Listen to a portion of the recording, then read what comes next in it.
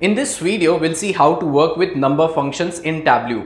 There are various types of inbuilt number functions in Tableau which you can utilize. Now let us see that one by one. So first of all, I'm working in the number functions workbook, Global Superstore 2017. You can download this workbook below this video itself.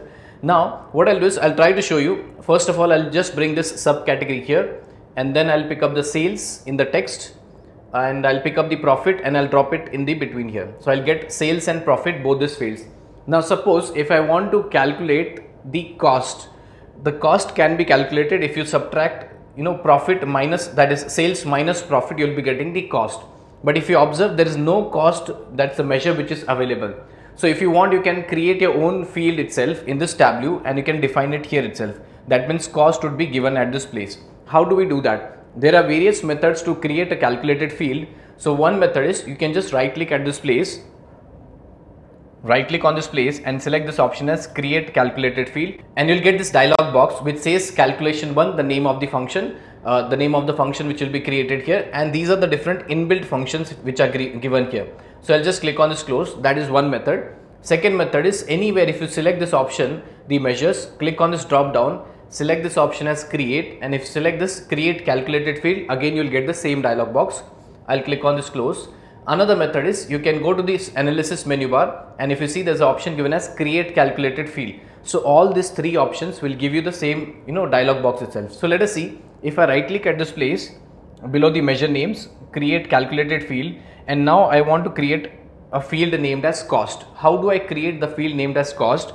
I'll write here the option as sum of sales. How do I write it first of all? Just type as sum and when you get the list in the drop down these are the options which are available. These are the functions.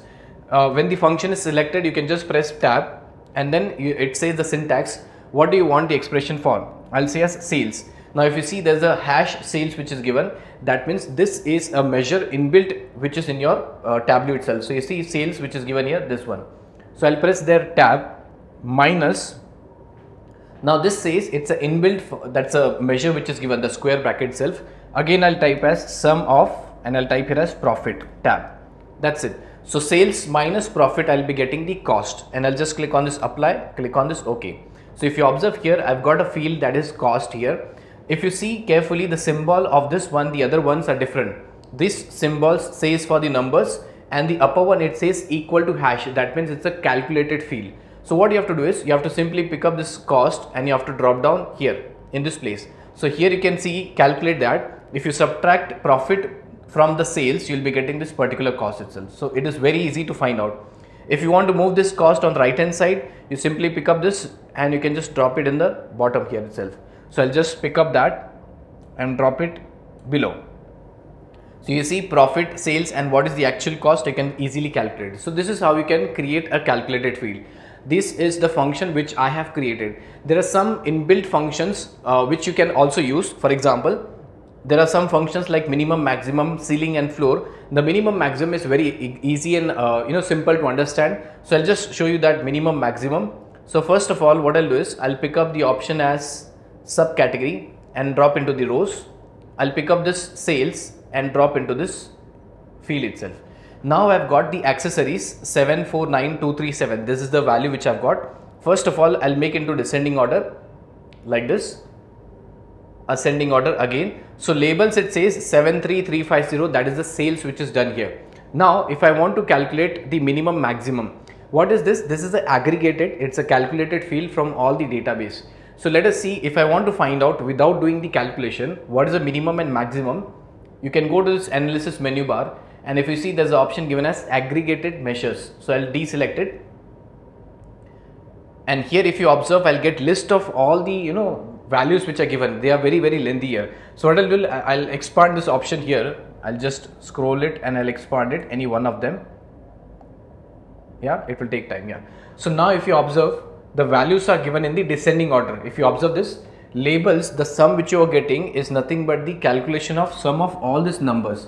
If you open your database in Excel, you will find out the highest sales done for the labels category, subcategories 786 and it will, it will keep on going in the descending order itself. So this is how. So if I want to find out the maximum sales which is done in this place that is 786 with the help of some function, inbuilt functions. So how do I do that? First of all, I'll go back, I'll go to this analysis and say as aggregated measures. So remember the number 786 here. So what I'll do is I'll go here in this measures and I'll create a calculated field which will give, give me the maximum of this sales itself. So select any one, click on this drop down, create calculated field and here I'll type as maximum and I'll type here as max of sales. So max of sales I have written here, click on apply, click on OK. Now I'll just pick up maximum and drop into this area. So here if you see I'm getting the answer as 786 which is the highest sales which is done. So all of them will be valid if you just expand any one of them with the help of this analysis aggregate measures you will understand everything in this place. Same way if you find if you want to find out the minimum sales done for this any option here labels, uh, fasteners, envelopes anything. Same process click on any of the drop down click on this create calculated field and here I'll type as minimum type as min of sales. Click on apply, click on OK and this is the minimum pick up and drop it in the area itself. So you see the minimum sales, the value of minimum sales which was done is nothing but 2, 1, 2, 3, 3, 3 and so on. So these are the minimum sales which are done.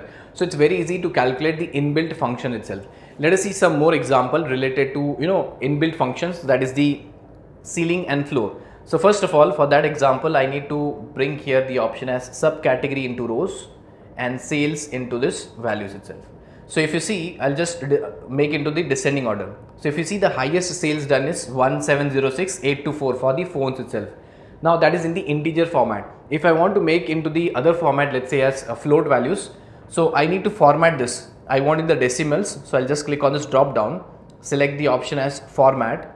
And here if you see the format for sum of sales right now it is in the numbers I'll select as number custom so if you see when I select number custom it has converted to decimal itself. Okay? And I'll just simply click outside click on this close button itself.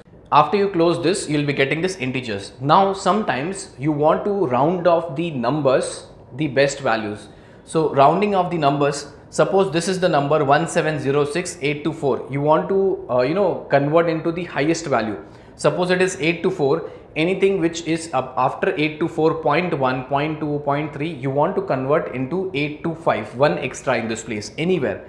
So that is nothing but known as ceiling. If you want to come down one, one step, that becomes as floor. If you want to understand more about it, you can see the Excel videos we have created for ceilings and floor here, the examples. So I want to, you know, round off everything to the upper level. So one level above. So whatever numbers if you see, here if it is 237, it will be converted to 238. Here if you see 811, it will be converted to 812 itself. Anything extra is there, even if it is 495, it will be converted to 496 itself. How do I do that? Inbuilt function available with Tableau. Again, I'll just select anything, click on this drop down, create calculated field and I'll type here as ceiling. This name can be anything, this can be customized and there's a function which is inbuilt that is ceiling what ceiling do you want? I want ceiling for sum of sales. Ceiling for sum of sales.